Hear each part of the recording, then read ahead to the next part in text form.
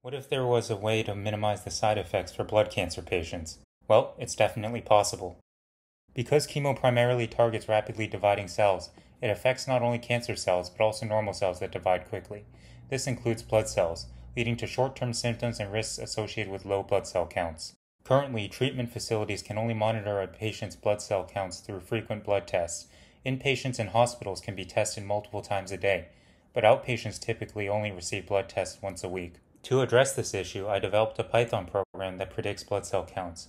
The program uses cubic splines to fit the patient's previous blood cell count data and then uses quadratic approximation to generate a predicted value. Unfortunately, chemo also has many physical and mental side effects.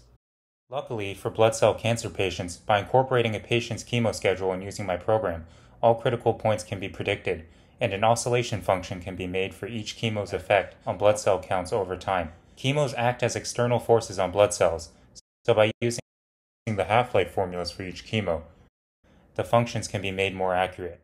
Then, by using the concept of coupled oscillation, the different oscillating blood cell count functions can be added together to create a total blood cell count prediction function.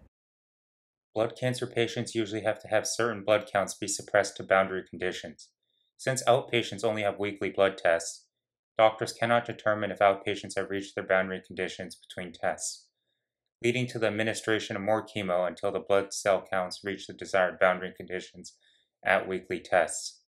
By using the total blood cell count prediction function and adjusting the chemo dosages, an objective function can be created to meet the boundary conditions and prevent relapse while minimizing the amount of chemo administered. This objective function minimizes the risk of side effects for blood cancer patients. Thanks for watching.